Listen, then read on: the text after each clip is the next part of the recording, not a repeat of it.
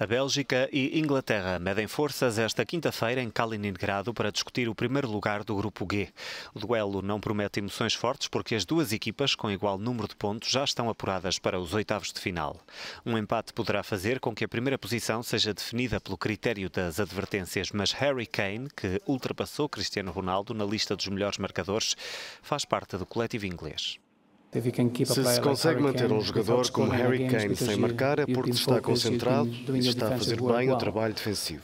Estou certo que vai acontecer, como digo, estou certo que Gareth Southgate e a Inglaterra vão procurar o melhor para a equipa.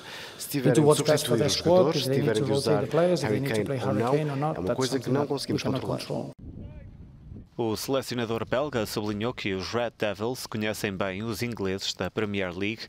As duas equipas deverão poupar jogador-chave, ainda que os ingleses ambicionem chegar longe depois de várias eliminações nos últimos anos em grandes torneios.